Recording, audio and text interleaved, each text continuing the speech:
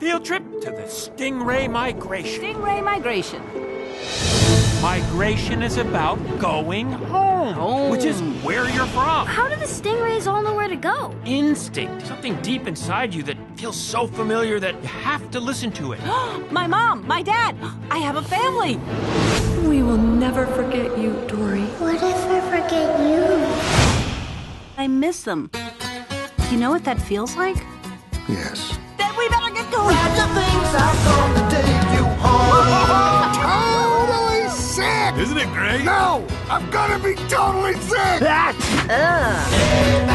Can you help me? Oh, Sorry, not a great swimmer. I think you swim beautifully. Thank you. You're welcome. Wait, Dory? Yes. Dory? Yes. You and I were friends. No. It was so much fun because I'd tell you a story and then you'd completely forget about it, mm-hmm. and then I'd get to tell it to you over and over again. I'm you crazy? It's too dangerous. Hands! Hands? Mommy? Ah! Holy Neptune! That is definitely not mommy! I'm sorry. I gotta blink. How do you hold your eyes open that long?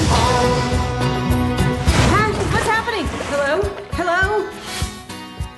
Hey, you. Hi. Can you help me? Shh! Mm-mm. Not good.